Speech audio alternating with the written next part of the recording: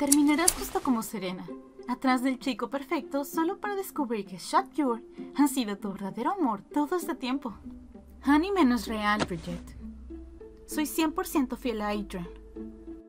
Además, incluso si eso fuera a pasar, eso no significaría que Shatner es tu verdadero amor. Félix se parece mucho más a Tarien que Adrian, lo cual te volvería a ti, Serena.